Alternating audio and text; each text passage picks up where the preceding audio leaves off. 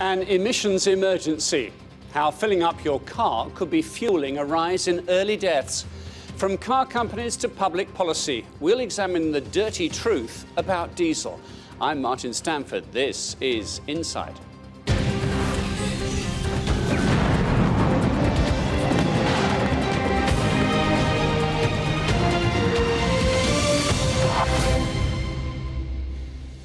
Welcome to Insight. When Volkswagen was caught cheating lab tests in America, it not only created a crisis for the car maker, it also focused attention on the dangers of diesel. In the year that's followed, it's been claimed that very few vehicles from any car maker meet emission limits when you drive them in the real world. And in that real world, the pollutants are helping fuel a public health emergency that the World Health Organization says leads to millions of premature deaths. Insight's Tadhg Enright has our main report. If you had to guess how cars are tested for emissions, this is probably what you'd imagine. Hook it up to testing equipment and take it out for a spin. But it doesn't happen this way, certainly not in Europe. Road tests like this are not required by EU law, and when these road testers put all the diesel cars on sale right now through their paces, the results were startling. So how many of the cars you tested actually met the limits when they're out on the road? Eight. Of all the diesels we tested, eight. Out of about 800 cars. And how much worse were they than the, the standards allow? On average, four times the, the legal limit. So 80 milligrams per kilometre is the legal limit for diesels. We're seeing over 300 milligrams per kilometre on average. Among the worst pollutants were the diesel engines of Fiats and Suzuki's, emitting 15 times more nitrogen oxide than European limits. Renault Nissan diesels were measured at 14 times the limit and Opel Vauxhall at 10 times. Well, these breaches of the limits are all perfectly legal because the standards say that emissions must only fall within them when cars are being tested in the laboratory and not outside in the real world. It was the reliance on laboratory testing that shone a light on emissions limits during the Volkswagen scandal last year when the German carmaker was found to have been manipulating lab results. Testing VWs on the road today produces rather different results. In fact, the, the one manufacturer who has cars that do regularly meet the legal limit is Volkswagen. Incredible. Which, incredible. Given the whole story, you wouldn't expect that. So why does road testing produce such different results to testing in the laboratory? It's a very gentle one. Relatively low speeds, low acceleration rates, no hills. But also in Europe, we found lots of issues in terms of grey areas and loopholes uh, that can be exploited. If, if, you are trying to get the best possible number, uh, there are things you can do within the law to get a better number. The emissions in question here are nitrogen oxide, or NOx. It's a gas emitted by all engines, but at a much higher level by diesels. Previously, diesels were hailed for their fuel efficiency. Travelling further in a single tank meant that carbon dioxide emissions were lower. But now we know that diesels emit a lot more NOx, which is another serious public health hazard. Our system of laboratory testing is, is completely obsolete and irrelevant. Uh, Thankfully, there are new road tests which will be coming in in the next few years. But we also need to make sure that the manufacturers don't find ways of manipulating and distorting the test results. It is possible to filter NOx before it's released, but the systems are problematic. The manufacturers are actually switching off the after treatment systems on the exhausts under most driving conditions. Uh, this is because uh, if they didn't, the engines would break down. So what we need to do is to recall these vehicles. There's 29 million cars on Europe's roads that could be cleaned up. That would be a very dramatic recall. Do you think it's actually going to happen? I think it is going to happen. I think there's now a lot of pressure uh, coming from the European Commission to require the member states of the EU to enforce the legislation that's there. The American standards are the ones that are hard to meet.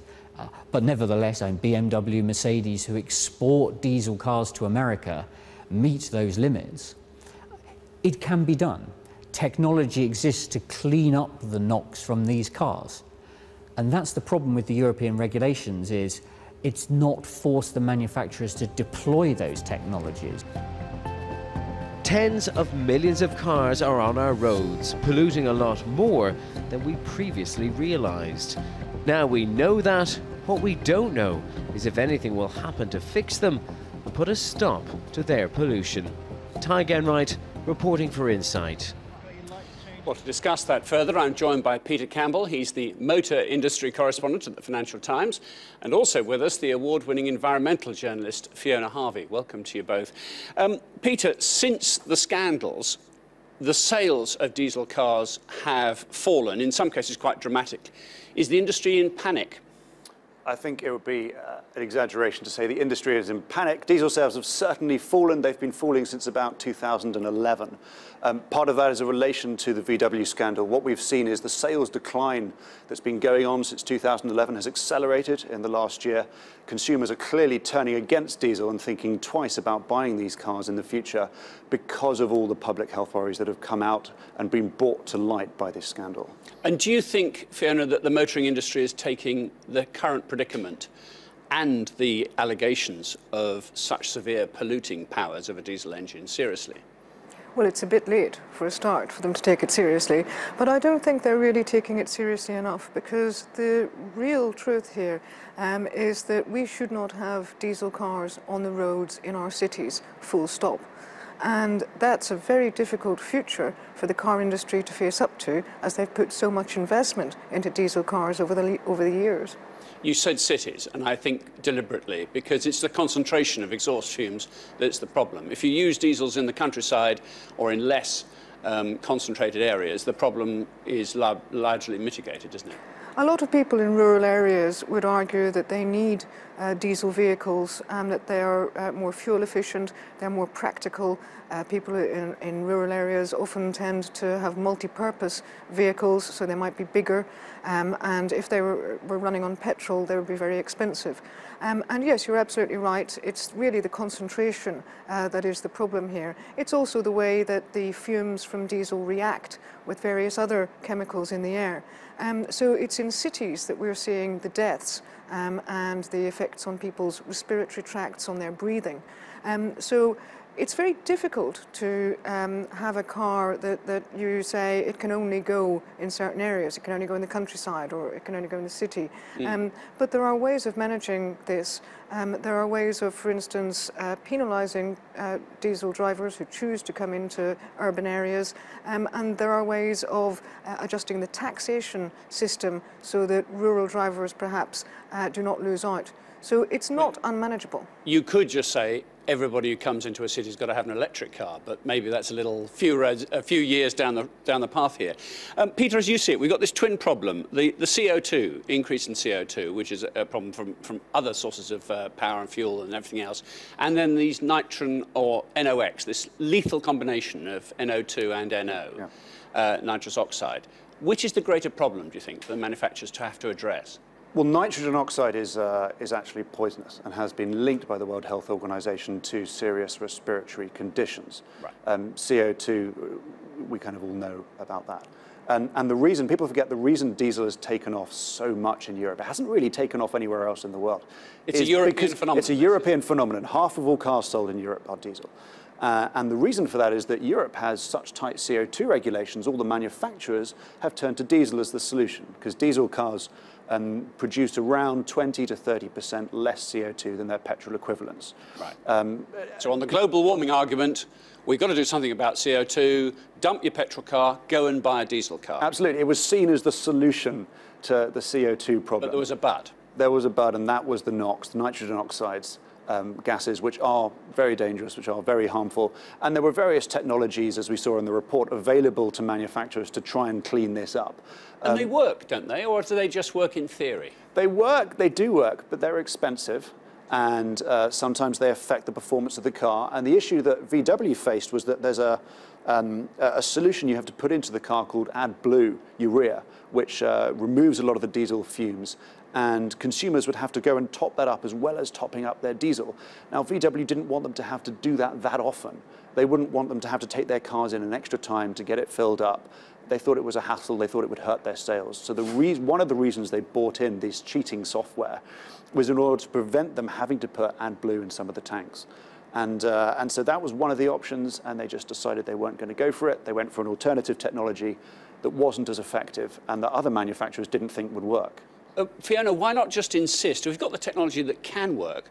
Why not just insist, and if, legislate if you have to, that this better technology or the original technology is applied to all diesel vehicles? You could do Solution. that. You could do that, and there are standards uh, that uh, come from the European Union that are intended to, uh, to ameliorate these problems, to take away some of these emissions um, in the way that Peter's been describing. However, um, these take a long time to phase in typically, um, partly because uh, the European Commission doesn't want to be accused of being an anti-industry.